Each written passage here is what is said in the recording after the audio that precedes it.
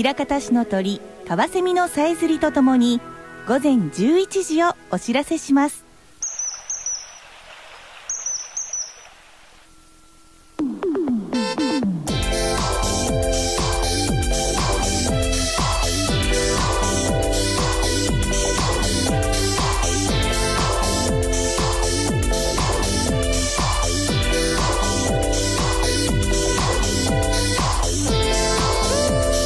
FM 平方交通情報。時刻は11時です。それではジャティック発表。10時50分現在の平方とその周辺の交通情報をお伝えします。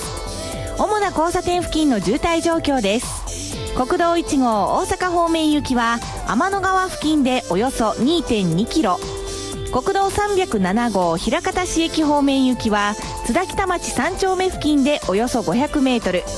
津田中学校前付近ではおよそ600メートル池宮4丁目東付近でおよそ800メートルの渋滞池宮北付近ではおよそ500メートル混み合っています。反対の国道307号京田辺方面行きは杉1丁目付近でおよそ500メートル渋滞しています。枚方方の寝屋川線水道道寝屋川方面行きは池宮4丁目東付近でおよそ500メートル。三井畑団地バス停付近ではおよそ500メートル渋滞しています。反対の枚方方の寝屋川線水道道葛葉方面行きは池宮4丁目東付近でおよそ500メートル混み合っています。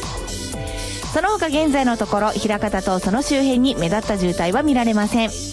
ドライバーの皆さんこの後も安全運転でお願いします。次の交通情報は12時頃にお伝えします。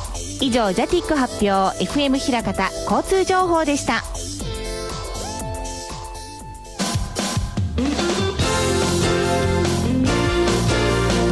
77.9 FM 平方